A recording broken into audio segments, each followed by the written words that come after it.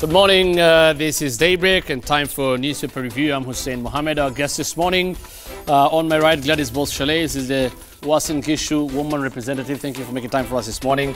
And Senators Kimani Wamatangi, Kiambu County, and uh, Moses Kajwang, Homa Bay County. Thank you all for making time for us uh, this morning. Senator Nandi County, Cherargei will be joining us uh, shortly. Let's take a look very quickly at the headlines on the papers. Uh, this, the Nation, Daily Nation. Uh, say MPs corner Uhuru of agenda bill. Rebellion women lose again in parliament as male members live up to their chauvinism and defy their party leaders to scuttle uh, proposed law. It's the same headline in the um, Standard talking about MPs defy Uhuru, Raila uh, on key bill, gender bill vote deferred despite intense lobbying by the president and opposition leaders. Uh, MPs yesterday failed to turn up in the National Assembly for the crucial vote. Right, and I'll start. Uh, I'll start with. Um, okay, Cherargei is here first. That's why I'm, I'm stammering. Okay. Are you okay I'm now? good, yeah. Okay. thanks, thanks for making time for us. I'll start with uh, Honorable Gladys Shollei. This. Uh, I don't know what first your uh, reaction to this is, how you feel about what happened yesterday first in Parliament. It was a, a little disappointing, uh, but I think I must say we saw it coming. Um, I doubt that there was enough lobbying. I think, in fact, by the time uh, the bill was tabled before the House and during the public participation, there wasn't sufficient attempt to reach out to members and lobby them to support the bill. There wasn't uh, enough uh, convincing undertaken because I found that a lot of members still talked about it as if it's about women when it is actually a right to equality. It's a human rights issue. Even that basic information was unknown to members. So they kept saying, we want to support our women, our women. But what they forget, it's not about the women.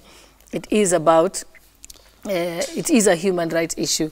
And so the lobbying wasn't enough. I think I'm happy that um, it's been deferred to a further date. I'm hoping that we can now lobby members.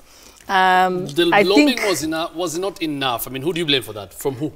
uh, I mean, everyone, starting with uh, our leader of majority, I don't think he took the time, even before he tabled it, to even engage with members to find out why was the, did the last one fall. Because if it failed the last time and you bring the exact same uh, bill, then you haven't addressed the concerns of the members. I also think that um, the parties, I, at least I know, I don't know if the other parties were called for a parliamentary group meeting.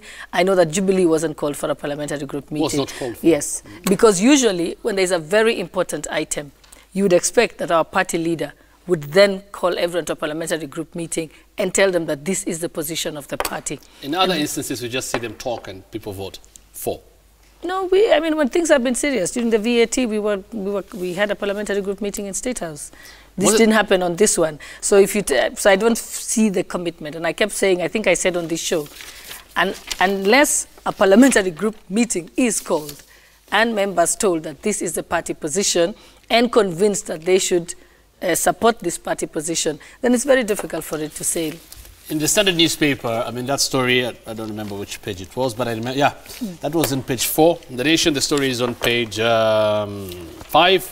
Uh, the, the, the photo there with Raila Odinga, uh, Kalonzo Musyoka in the House yesterday, and uh, Senator Moses Kajwang.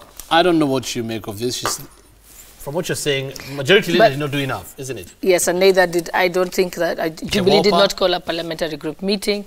I think Kewopa we can take a bit of the share of the blame. But there was, a, I mean, but even to get 212 members in the House, believe me, I've watched a lot of things happen in the House since I got my first time parliamentarian, but I've never seen so many people. I think 212 was a good showing. At some point, I thought that if we had just held off for a adjourned for a few minutes, tried to lobby some of the members that were even within the Come in. precincts of parliament and were in the lounge, we had convinced them to come in, maybe we could have gotten the numbers. So, they, I mean, they needed to be upgraded. I, but I must commend um, uh, on the Right Honorable uh, Raila Odinga and um, uh, Honorable Kalonzo Musyoka. I think it was a good show of support. I think it's symbolic. I think it was good that they, But they were it, there. it didn't amount to much. Ultimately, despite them being there, I don't know what you make of it, uh, Honorable Katem. Uh, well, thank you, sir, and uh, good morning to our viewers. Uh, the, the photo that was just put up there was uh, taken after the vote was deferred, and uh, we were just uh, doing a post-mortem of the events uh, that had happened in the National Assembly. There was a sense of disappointment that the matter was not uh, concluded uh, yesterday, um, uh, but there was also a little sense of hope because all is not lost. Uh, the matter, the mover was not called upon to reply. So that means that the bill remains in the status of uh, second reading.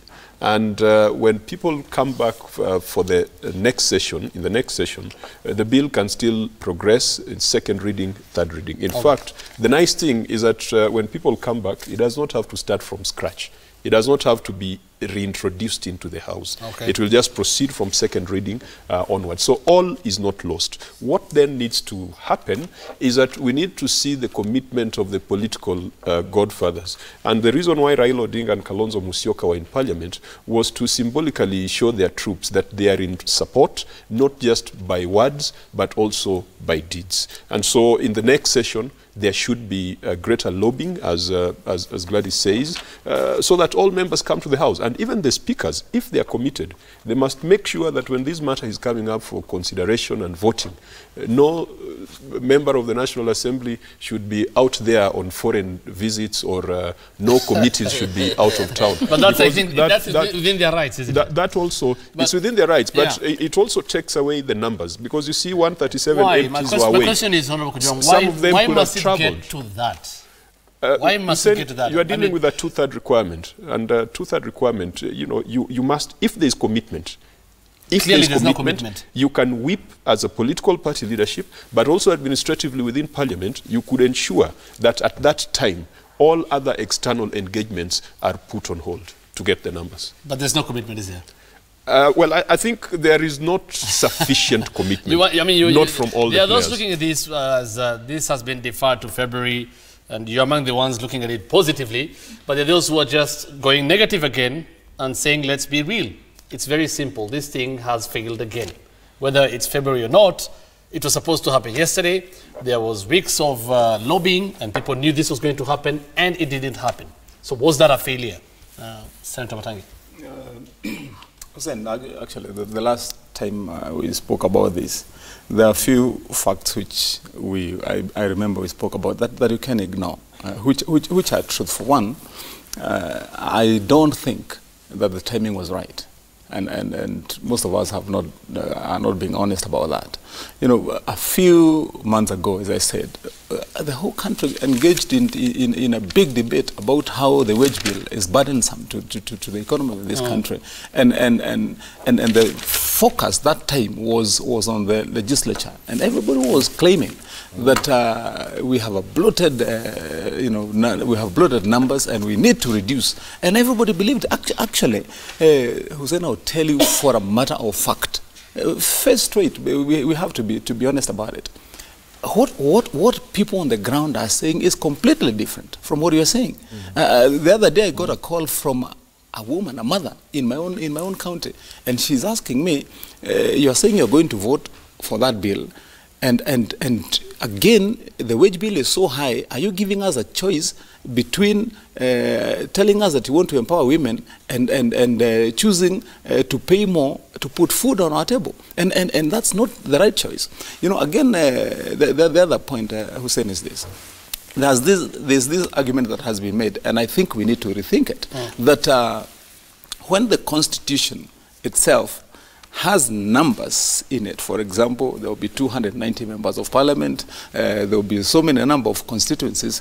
The process, the methodology that we are using, for example, if you compare uh, when, you, when, you, when you're talking about um, for example, uh, take a case for like for boards, where you have a provided number.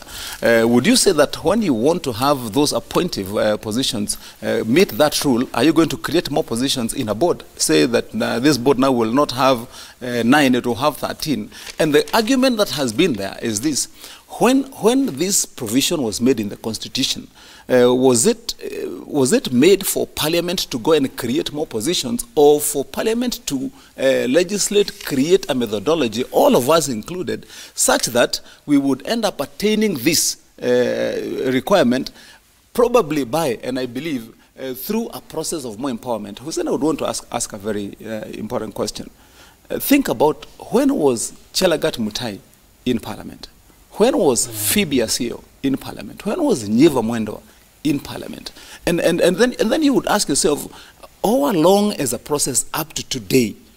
Uh, where, where have we failed such that we would get to this point and this day in time would be saying that the way to uh, deal with this is to create uh, these uh, positions as nominated positions. And I'll tell you, if you look at, uh, in my view, if you look at countries that have succeeded in what you would call uh, attainment of that parity uh, somehow, cases like Norway, uh, a lot of other Scandinavian countries have, have done that, is through a committed empowerment process of women long term. And, and then you, you find that you get to attain it. You know, my, my, my, my, concern would be this, that, that, that, that we are looking for an, for an instant coffee model of, of, of solution uh, without, what without really addressing Yeah. uh, wh- wh- what the key issues are. Bottom line, you're saying this is this shouldn't happen. no, no, I I mean, I'm, I'm, I'm saying if, if we are true, because uh, unfortunately, if you look at the behavior of most politicians, and that is the, sometimes the nature of politicians, they want to be the ones at that time who have who be said to have come and broken the ice and uh, gotten the bill voted for, and uh, we have attained this. But, but, but at the end of the day, you ask yourself, and I believe that is what we are all saying here, why did the bill not pass yesterday? It is because there was no commitment. People were speaking from one end of, the mouth saying this, and the other end of the mouth they're saying something different. Actually, they were uh, deceptive in the in in, in the Because they impression. promised of- to- to- to support this. absolutely. Honorable Uh, I think the reason uh, the, it's failed, of course, I was among the few people who opposed this from the word go. And I think the reason it failed is... Well, Matangi also seems and- to oppose it. Oh, well, I mean, I, I, I mean, it's going round about it. I, I, I, I, I, would- I would have, you, you know, my point the is I reason- subjected to reasoning. the, the, the reason it failed he's not? The, the, the reason it failed and i suspect that is why uh, party leaders did not call for a pg is because it was unpopular by the people. Uh, and i agree with senator matangi that we were discussing this issue against the backdrop of the soaring wage bill and uh, the issue of referendum. These are some of the questions that kenyans wanted to, they were saying we have represented. Yet at the, at the beginning of this uh, this time we were discussing about about referendum and then later you are telling them we want to increase representation in parliament. And therefore i'm looking even to the future where we'll strike off this Although this, this, this this hasn't come up from the blue. This no, it has law. been I there. mean, it's That there. why now, when we discuss about referendum, these are some of the uh, parts of the constitution that we should strike out so that they should be. For example, eh, cabinet as it is constituted today, it does not meet the gender uh, parity. We still miss two.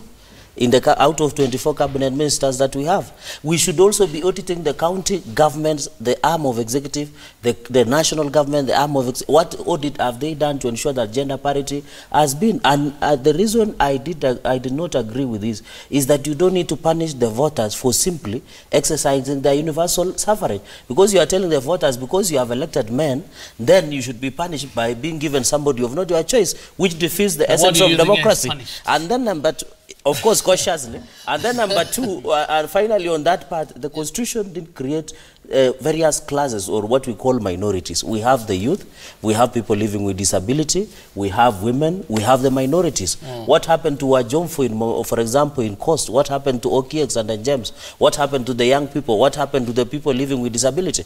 And the, I think, Hussein, the reason this thing is unpopular is because nomination process has been abused. That is why in parliament today we have flower girls and page boys who their interests, because even if nominations was should be done, we should get somebody who is of high, unique, special skill There to should be a participate. formula to do There- that, there should be a formula, and that is why Kenyans are not supported. And interestingly, even my, in my county, I receive some texts and women are against this thing. Okay, and I think Shirley would have something to say about Yes. this last year. Okay, I think first of all, this period that we have been given to re, to uh, until February, when the bill comes back again to the House, will give us time to convince people like Senator Matangi and Senator uh, Cherargei, because one, I know that one of the biggest concerns I had from members is that they said, okay, we're going to allow nominations, but what is the method, what is the formula that's going to be used to nominate? I know that was a big issue among members. For those who agreed, and were supportive, that was their biggest uh, problem. And I know many times I said, let's just back it. We can amend the Political Parties Act to be able to develop a formula through that method. Number two, as long as members still think, and, and we need to convince them out of that, and that's why this period is going to be important, so that I can let Senator Cherargei know that first of all, you swore to uphold the Constitution. Article uh, 3, you are obligated to defend, protect the Constitution. The Constitution has entrenched the one-third principle. So when you took that Bible and swore to uphold the Constitution, you have no choice but ensure that the Constitution is is, uh, is, uh, is, is, is, uh, is, uh, is implemented. Number two, if you look at Article 81 of the Constitution, each and every part of it has been implemented except the one-third principle. Every A, B, C, D, up to J, but except that one. So the question you ask yourself, how can is it that we say we want to implement the Constitution on one side and not implement the Constitution on the other side? I also believe strongly that the only reason that the bill was brought before the House was because of the pending court case. If you remember in 2015, uh, we had the advisory opinion, no, sorry, uh, 2013. In 2015, they were permitted to have time, uh, given time until 2015. 2015, it took the court to give uh, 40 days to the Attorney General to ensure that the bill goes into Parliament or else that Parliament will be dissolved. So they quickly put in the bill, which bill was not well thought through. It failed the first time. I don't think the concerns of members at that time, at the 11th Parliament, were addressed in the new draft. We should have redone the draft, addressing the concerns of members so that we can get on board more members. Even now, when the case came up for hearing, what was the argument of the government? The bill is before Parliament. before Parliament. And even now, So it was this not buying time, this buying time up to February also gives them reprieve Parliament with the court. I mean, So the so- court so again will give them a chance and will not Five dissolve Parliament. later, five years later, what, do you, what makes you think between now and February things will be different? I- It's I- five years, and it, I think I, you what I believe is we should change the that is being strategy. I think we should push for the court uh, to, I mean, for the Chief Justice to advise the President to dissolve Parliament. That's the only way it's going to happen. To I dissolve don't, Parliament. yes. But- I don't think it's going to happen yes, any other way. I know that I, was, uh, I, I heard that. Yes, I have a is constitutional amendment bill, that looks much more better than the Duale bill at the and moment. Actually, that is another question I'd want to ask. I mean, we have not seen even, okay, it's not like it's their role as women to bring this, but we have Kewopa. And we've not seen these bills originating from you. We've not seen any amendments from you. Yet you come and Yes, complain yes. that you come and complain that these bills, the way they are, they were not strategically well Okay, thought I think I think if you look at it, um, this particular bill, once it had come to the House, the, the law is such that on the standing orders, you cannot make an amendment to a constitution amendment bill on the floor of the House. You can't do that. So unfortunately, our hands were tied on that one. Um, if I, I did to originate. Yes, what I'm yeah. yes. But personally, I tabled a bill, I mean, I, I transmitted a bill to the House in October as soon as I came into office. In, 20, in uh, last year in October. Yes, it does have a formula, which I'm grateful to Cherargei says the formula is better. But I also told myself I have an obligation to the women of Kenya and also to ensure that if, and I said I'm going to back the government-sponsored bill, the, what is commonly known as the Duale bill. Why? Because I, I, I said to myself, it's better than nothing. At least it will be a step in the right direction. And I'm throwing my weight behind it, but I always told the women, my bill is a plan B. Should the Duale bill pass, then mine automatically dies. You- you- But you- if you it know, doesn't, the- the- then the- we the still question- have another the, bill. The in- question that I, that I wanted, I wanted uh, much to answer to us, uh, Hussein, as she, she, she, she, because she's quoted quite a number of uh, articles in, the, in the Constitution.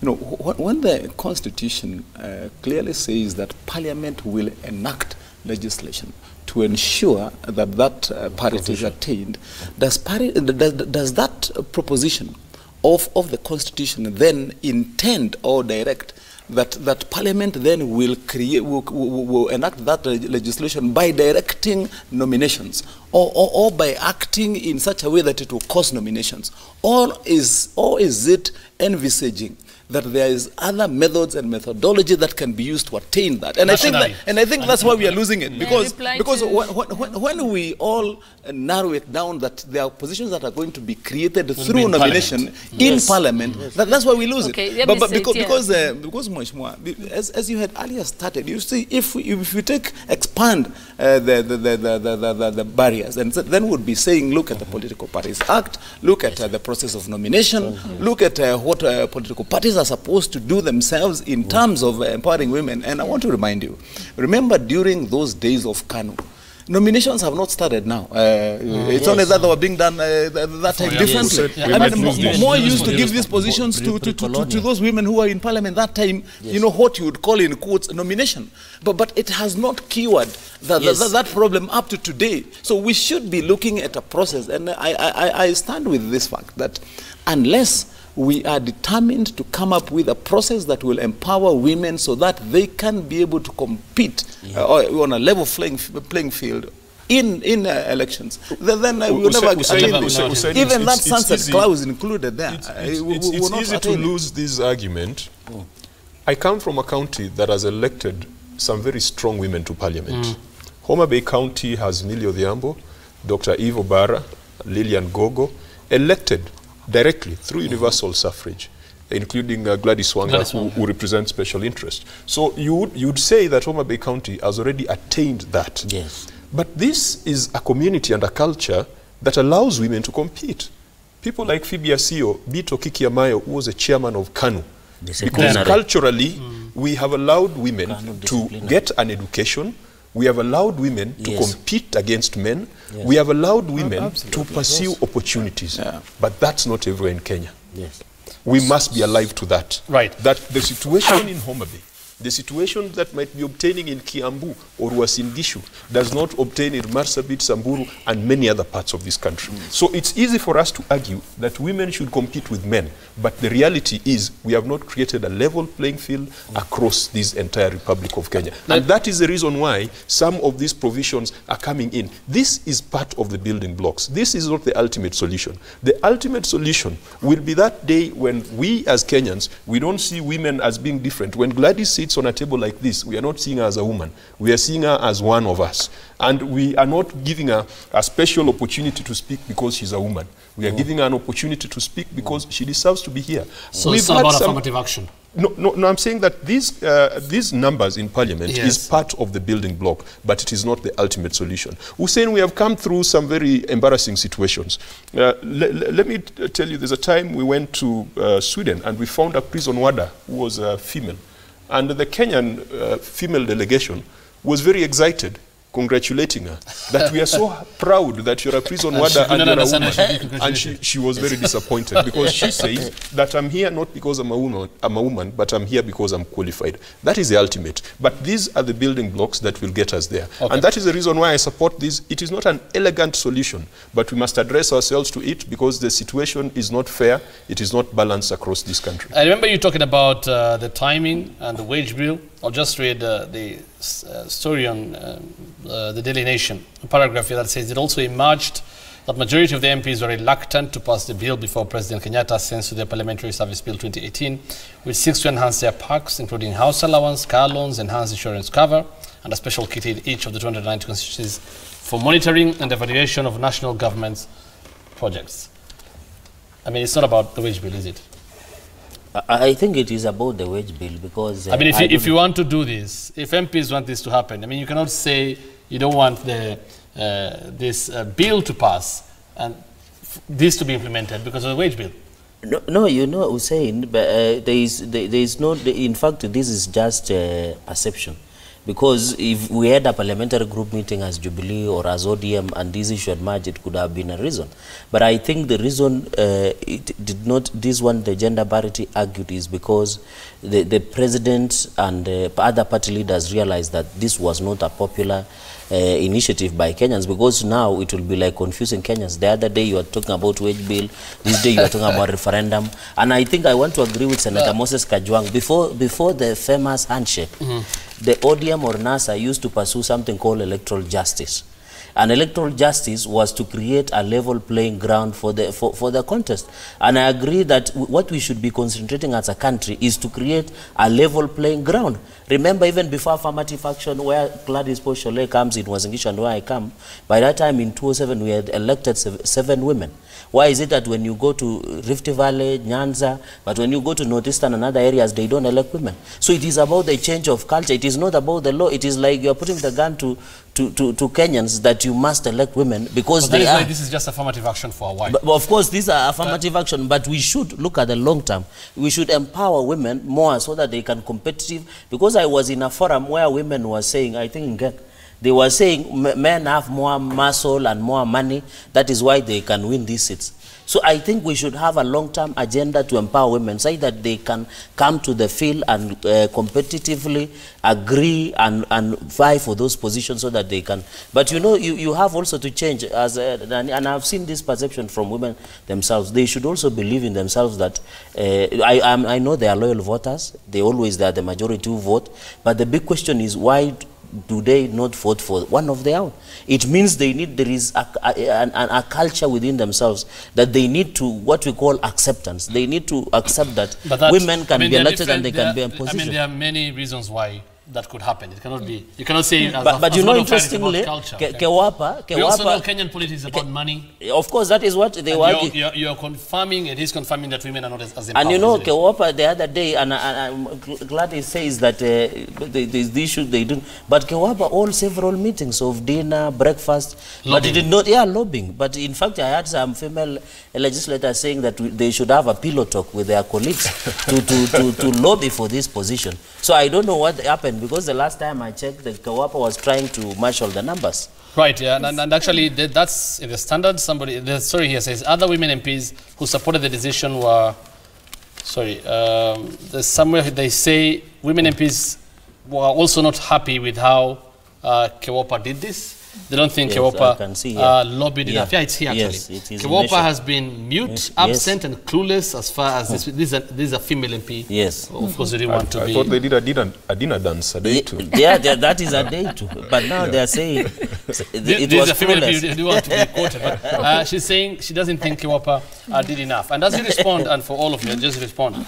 I mean, the standard here is quoting President Kenyatta.